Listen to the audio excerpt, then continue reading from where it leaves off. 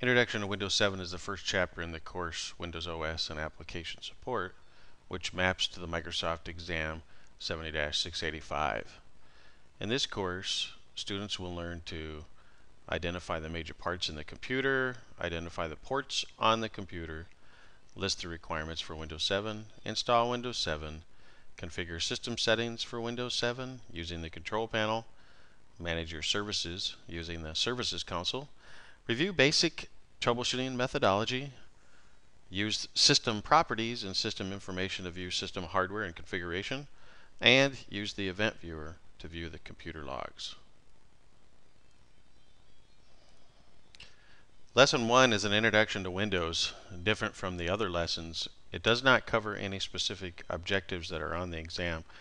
However, it will cover some basic yet essential skills which will be used in objectives shown in the rest of the book. In addition, the 70-685 exam does not cover installing Windows 7. However, this book covers it because it starts the lab out with a fresh computer and review the system requirements will help when discussing performance. For some of you, lesson one will be review since you would have taken a basic hardware and or basic Windows class and you have or you have had experiences playing with computers and Windows. Windows 7, the bottom line here is Windows 7 is the newest version of the Microsoft Windows operating system. Windows 7 was released to manufacturing on July 22, 2009 and reached general retail availability on October 22, 2009, less than three years after the release of its predecessor, Windows Vista. The first part of the chapter gives a brief history of what was led to of what led to Windows 7. As mentioned in the chapter, Windows XP was around for five years before Windows Vista came out. In addition, Windows XP was a huge success in both the commercial and home markets. Corporations quickly embraced Windows XP and it became their standard platform. Since many corporations will run popular applications such as Microsoft Office, they will often have customized applications that were written for Windows XP. Unfortunately for them, some of these applications will not run on Windows Vista or Windows 7. Therefore, it takes time and effort to test the applications to make sure they are compatible and it will take more time, effort, and money to have these applications upgraded. In addition, compared to Windows XP, the Windows Vista and 7 interfaces are significantly different. Therefore, there is also a learning curve for the users, which would also increase the number of help desk calls. Anytime you talk about computers and networks, you should discuss security. So when Windows Vista was introduced, many of changes to Windows Vista and Windows 7 was designated to make Windows more secure. Sometimes to make a system more secure you might have to give it a little give up a little bit such as the UAC or user account access prompts and incompatibility with older software. Before we discuss software, we should give a brief overview of the hardware that the system will run on. This section divides the system into four major subsystems processor, memory, storage, and network. By reviewing these subsystems, we can see how these components affect the overall stability and performance of Windows. It will also lead into the later lesson that discusses troubleshooting hardware devices. When discussing processors, keep in mind that they have changed significantly over the last decade or so. Initially, the clock speed was the primary factor for a measurement of performance. Since then, processors have gotten more complex and they have many storage units, multiple mathematical units, and even multiple cores. We should also look at the differences between 32-bit and 64-bit processors, such as how much RAM can be addressed by each. For example, a 32-bit processor is capable of addressing up to 4 gigabytes of RAM, while the 64-bit processor can address up to 16 exabytes Also, some software may not run on 64-bit processors that were written for the 32-bit processors. In particularly, in particular is the 32-bit drivers will not function on a 64-bit processor. RAM can be described as the computer's short-term short-term memory. RAM is not a place to skimp. As computers have matured and operating systems and applications have matured, these objects have required more and more memory through the years. This trend will most likely continue. Therefore, if you want decent performance and you want stability, you need to have sufficient memory. This is probably the most inexpensive way to boost performance of your PC. Drives are the primary storage devices.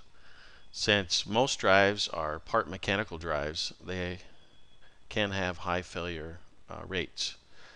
This is a point that will be mentioned later when discussing troubleshooting hardware devices. Keep in mind if you're going to install Windows 7 use the installation DVD, you of course will also need a DVD drive. The last major subsystem is the network connection. Older systems will most likely have 100 megabit network interfaces, while today's computers will include a gigabit network interface or a wireless network interface. Today, most activity done on the computer requires network connectivity. Even most home users depend on an internet connection, and corporate users need to share files and printers, access emails, and access various network applications. The motherboard is the primary component that brings all the other components together. In my opinion, this is the most important component in your system. The motherboard will also limit which processors you can use and how much memory the system will recognize. Remember, ROM or read-only memory chips hold software instructions.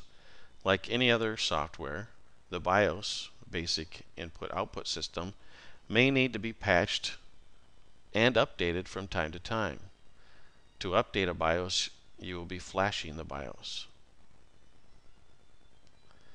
So when we look at flashing the BIOS, the general process involves going to the manufacturer website, downloading the appropriate BIOS update for your system, and running a software application on your machine that will rewrite the BIOS firmware and update it.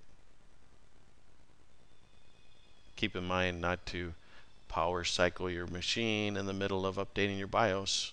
You could end up with a dead motherboard. The next components that are covered are power supplies and case. You must still ensure that the power supply can supply enough power to the entire system, including any devices that you have added. In addition, many systems are now designated to be more green, which means that they are designed to run more efficiently with less power. So this is a good time to think about the difference between mobile components as, compo as compared to desktop components. Mobile components or laptop components are usually designed to run a lesser voltage and can consume less power. Since most computers are designed to be expandable, this next section covers ports. Any desktop technician should be able to identify common ports on the computer and know what type of device you would connect to each port. Things like our parallel port, keyboard or a PS2 port, also known as a mini DIN keyboard port. Serial port RS-232. Look like, looks like we have a cover over a built-in VGA connection here. We have a FireWire IEEE 1394 port here. USB, Ethernet, RJ45 port. Here we have a VGA. Notice the VGA blue with three rows of five or 15 pins. This is a, a video S video out and then we have a DVI video connector and over here it looks like we have a RJ11 for a modem.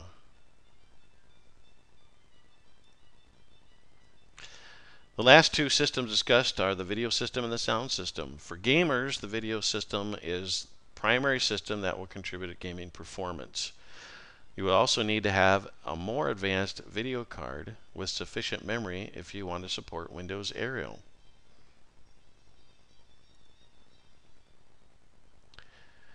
Here we can see a description of sound card. Of course, today with gaming systems and so forth, we want to be able to have some sound